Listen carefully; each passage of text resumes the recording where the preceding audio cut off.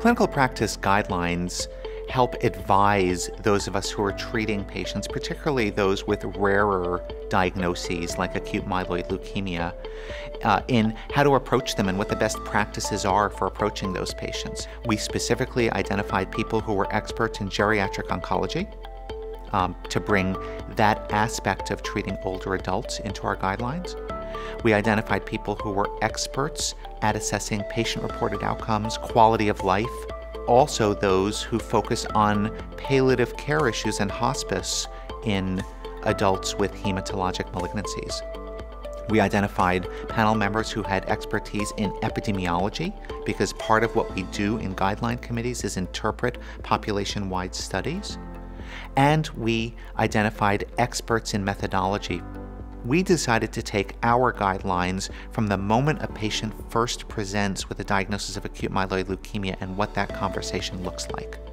So we have a section that's focused on risk factors for outcome among this population and how to try to estimate whether a patient is fit or unfit to receive intensive chemotherapy. We start out by asking a very difficult question Should a person who's older with acute myeloid leukemia be treated with chemotherapy at all? If that decision is yes, the next step is in identifying whether that person should be treated with intensive chemotherapy, which involves a stay in the hospital of four to six weeks, or outpatient less intensive chemotherapy. And if the decision is less intensive chemotherapy, we actually go through different regimens and make a recommendation on which is best.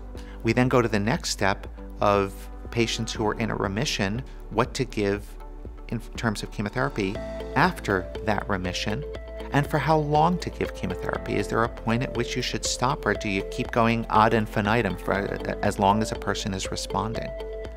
We then get into a very tricky area, and that's in palliative care and hospice. Guideline panels haven't addressed whether it should be considered standard of care to give blood product support to patients who have hematologic malignancies who are in a palliative care or hospice setting. Well, we took that on and we actually addressed that and come out with a, a very strong statement about how this would be considered a standard of care for patients with acute myeloid leukemia. One of the things I'm most proud about with these guidelines is we really focus them on patient decision making and patient goals.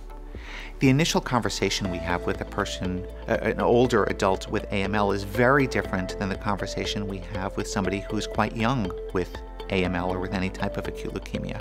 When I first meet somebody who's an older adult with acute myeloid leukemia, that person invariably says to me, I've lived a good life. And at that point, I don't know what direction that sentence is going. Some of my patients say, I've lived a good life and I would do anything under the sun to keep living that good life, so I want to take chemotherapy. And others say, I've lived a good life. I'm 75 years old. I've seen my children grow up. I've seen my grandchildren. I've had enough, and they don't want chemotherapy at all. So our guidelines are sensitive to that thought process and to identifying what a patient's goals are before we proceed to the step of determining what type of chemotherapy to give.